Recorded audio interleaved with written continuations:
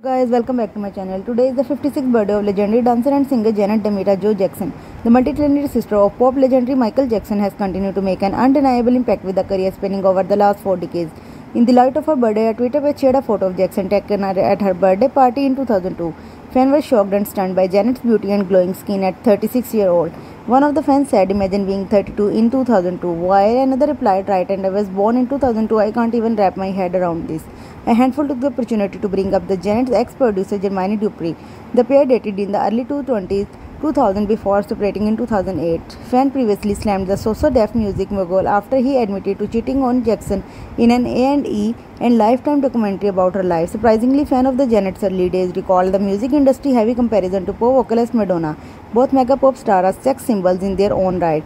But the tension has always been brewing between the two. Janet has been extremely dismissive of the Like a Virgin artist and her work when asked in the past interview. Yet Madonna has poked fun at Jackson's traumatic night sleep at 2004 Super Bowl.